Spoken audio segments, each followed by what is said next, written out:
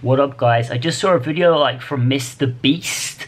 Have a look at his channel like uh, he did do a video of himself talking about himself where he'd be in a year's time. I thought that'd be really interesting, you know, to do. So now today it's the 17th of May 2017. Since uni I've really been soul searching I've like tried to start my own business so I work independently. Really, I just like to work for myself. I don't want to be like saying hey to my boss, being submissive. I hate I hate that. I really it stresses me out because because like with my Crohn's, it's really been the catalyst for me to explore what I really want to do on the channel Born Again. But it's really pathetic. I only got like just over 300 subscribers, you know, for the amount of time I put into it but I've just started a few other channels.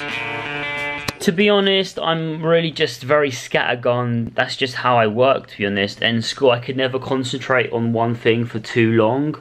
Um, is that a good trait? Is that a bad trait? Where will it take me? I don't know.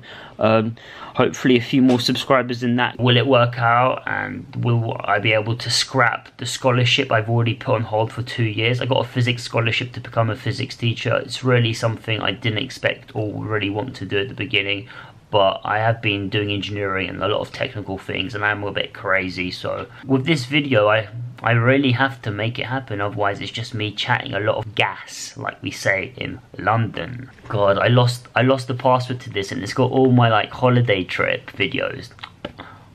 Damn! I need to hack my own drive but apart from hardware issues like that see you next year guys. Quickly just saying because I've also just come to the point like you know is my time more valuable than work kind of thing? It sounds like I'm really up my own ass but saying that compared to any other business online generally speaking is like the lowest. Startup capital is required. You know it's just your effort really. You know i'm kind of going insane. Hopefully i will be sane next year. See you